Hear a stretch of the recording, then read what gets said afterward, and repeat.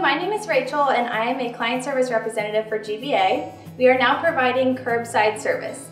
Once you arrive, please remain in your car, call your GVA hospital. We will confirm that you are on our PetPro Connect app, confirm your phone number and email, and someone will be out to assist you and your pet.